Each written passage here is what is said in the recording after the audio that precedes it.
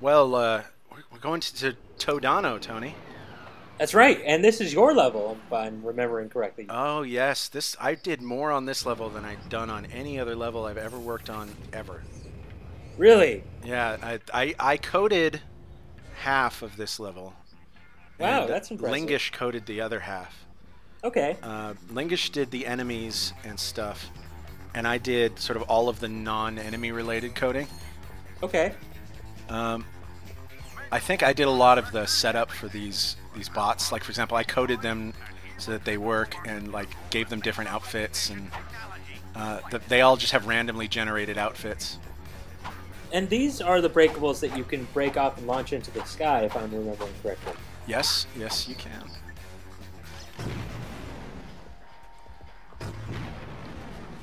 But they seem to take a lot of damage to get there. You got to go buy ammo. Jesus.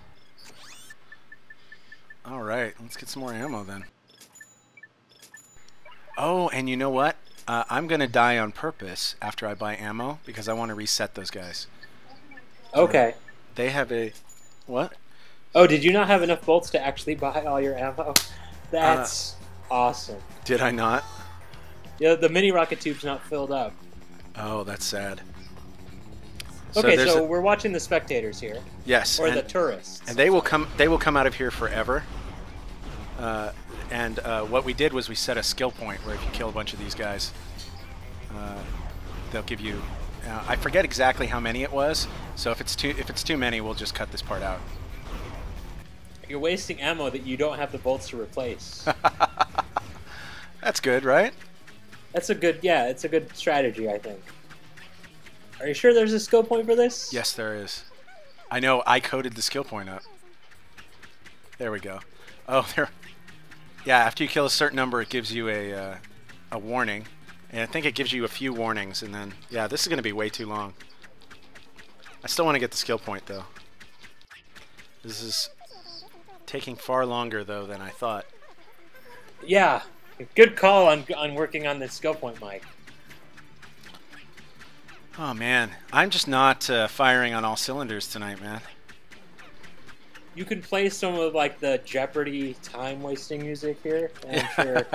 Da, na, na, na, na, na, na. And I think it we the original idea was that we would summon a whole bunch of enemies here and attack you if you kept doing it. Why would I spend time on this? Like, code, why would I code that up? I don't know. I don't know. For all the a- for It's not like I didn't For have you, enough work to do. accusing me of wasting time on the things that I did. Is there not even a skill point? It just says the. I'm pretty sure there's no skill point. I'm pretty sure this isn't a skill point.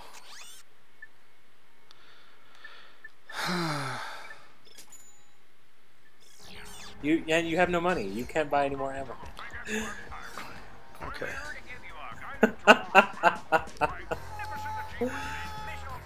So Tony, we're going to Todano. That's right. This is a level that I did a lot Hold of the on, work wait, on. wait, wait. Your mic's coming in. There's a lot of interference on your mic. Like what kind of interference? Like staticky. Like whenever you talk. So Todano. That's right. This Again? is your level, if I recall. Yes. Uh, it's totally my level. I've I did more on this level, as you probably don't know, than any other level I've ever worked on, Tony. What? What would you? Why did you have to do so much on this level exactly? I coded a lot of stuff in this level. It was Really? me, me and Lingish, and I think Lingish was kind of new at the at the time, uh, and so and I I had the ability to code, so I sort of just got drafted into helping with. He he did all the enemies and stuff, but I did most of the stuff in this level that isn't enemy related. Okay, so a lot of little ambient things that are going on. Yeah, like I coded these tourists, uh, made made them all different. Uh, you know, like they they have random hats and clothing that appear, and when you kill them, they break into nice little. No, they don't. No. You're just speaking too soon on everything in this level. God. Uh, uh, you know what though? It's hard to uh, hard to feel bad about that because it's fucking Fourth of July right now. and you know what? It, it is actually the Fourth of July this time. So those rockets are are the ones that uh, you I, you were talking about rockets that launch off when you break them. I think these are those those uh, those guys, but they seem to take a lot of damage. Yeah, man. I don't know how much you'd have to do to launch these off. Uh, I don't think I'm gonna stand around and, and hit them though. Oh, these are the squirrels. Uh, I think I wrote some flavor text for them, but uh, I, I, it was probably even very entertaining. But I'm not going to go look at them because I have a tendency to do this. Uh, but yeah, having them stand around, the, the you know, if I hadn't killed them all, having them stand around and watch him as he does his little things here, I think I did all that. And these guys would pick off tourists as, as they came by. Um, the only reason I'm hanging out here is because uh, there's a, a, like a skill point or a platinum bolt I can get if I follow this guy to the end. Okay.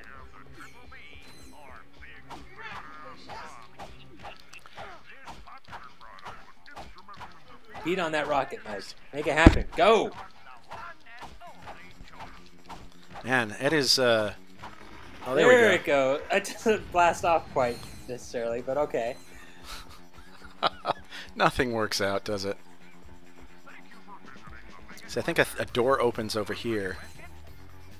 If it doesn't, you're gonna look like a complete fool. Again. Oh, oh, there you go. Platinum There bolt, go. baby. So you did remember Oh, something man. correct. Oh, this is not a good day for me, Tony. This is not a good day. All right. Um, I have an interesting. Uh, so this electrolyzer uh, puzzle in particular, uh, I had to redo three times Really? because it was too hard. What? Why was this one harder than the other ones necessarily? Um, you know, I just coded it to take split second timing. I see. Uh, yeah, I was frequently chastised on this one. And it requires that you look everywhere at the same time. I mean, yeah, it was. This was just sort of me. Another case of me uh, not being willing to uh, to make things easier because I was so hardcore at the time. Right. Oh, we got the water plane here. This water plane was kind of interesting. Uh, we don't need to look at it for me to talk about it, but uh, in the whole game, this is this is the only place where you're ever underneath a water plane and you are not swimming. And that may sound like a minor thing, but that was a huge problem. Uh, yeah, because that's not the way Ratchet Water works. Yeah. How, how does Ratchet Water work? You well, you specify you um, you specify a plane, and uh, well, in Ratchet and Clank, just so people know, and everybody's gonna like be, think this is crazy. It's it's a Z up game in Ratchet and Clank, All right. uh, and uh, so you would that means that of the of the three axes, X, X, Y, Y, and Z. Z is up. Okay. And uh, you would specify a, a plane, and anything below that z would automatically be assumed that you're underwater. So uh, you would go into swimming the minute you hit a point below the water plane, uh, and that's sort of how it would ever work. And you could never leave the water unless you rose up above the water plane. That's just sort of how Ratchet Water works. So to have a thing where you would have to go underneath it but not be swimming is very counter to the way everything had been set up. So we had to put in a special exception for this into. I think I was coded into Ratchet itself. It said if you are in level nine, uh, or or whatever level this is, then uh, then don't do the thing about the water. Uh, so water in this level just wouldn't have worked even if we had it in because we specifically disabled it. I remember liking these mines a lot. Uh, I Dude, That effect, that's Yeah. your last effect ever. uh, yes, that's right. I blatantly stole it and put it on those guys because which, uh, which guys are shooting that? the the big flying torsos. Oh, oh, so you made my effect less special by just putting it randomly across other enemies. I wouldn't say randomly. It was more that I desperately, desperately needed an effect.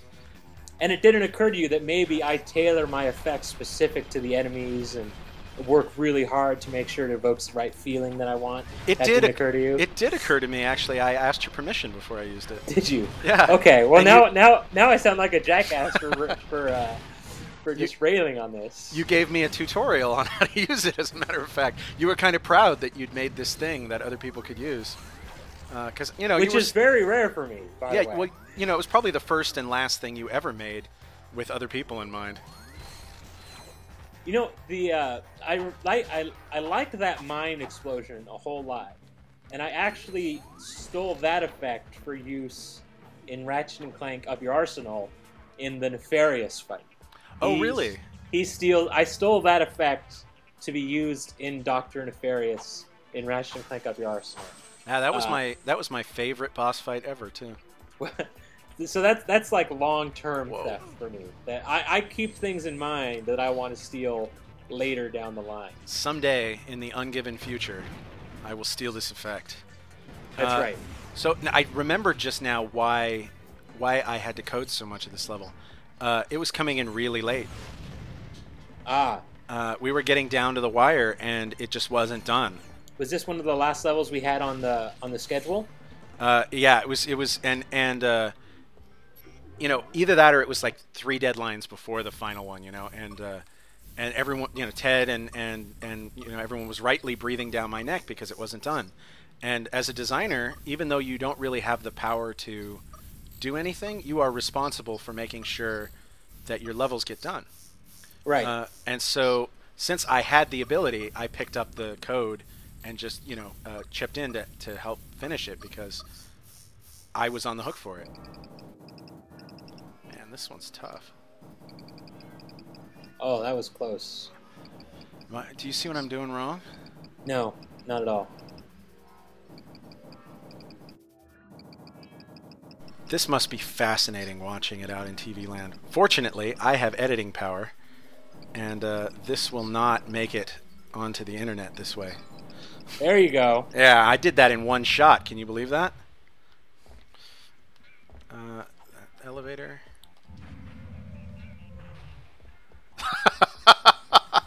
Least impressive elevator ever. Oh, and it was just for a nanotech, huh? All right. Well, we got a nanotech. Good for us. All right. Oh yeah. So uh, I this this was another level. Uh, this the, the combat in here that people pointed to uh, in terms of Ratchet and Clank, uh, you know, all-time classic setups. So Uh, you're saying that you created an all-time classic setup? Is I just No. want to make sure that's what you just said. Uh, no, actually, I had nothing to do with it. Okay. The, the I wired it up, but the uh, the enemy segments were designed by either Brian or Colin. I see. because I was still a junior designer at this point, and I think I might have one or two enemy segments in here, but in general, I was at a loss for how to design enemy segments. I was terrible at it. Uh, in in these games for a long time, I was in charge of gadgets because uh, you know I just wasn't as good at this as as other ones. I learned eventually, but uh, but yeah, no, this I think I took a stab at designing this, and it was terrible. And then Colin came in and told me what I was doing wrong, and you know cleaned up my shit. Oh look, that's not breakable. You can tell it was coming in last minute.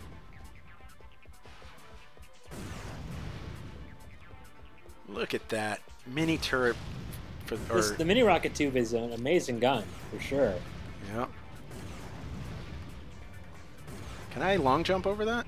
Yeah. Okay. You know, when I play this back, I will uh, uh, you cut out the part where I asked you, just so I don't look stupid. Oh God. All right. think since this one's critical path, it's not as hard.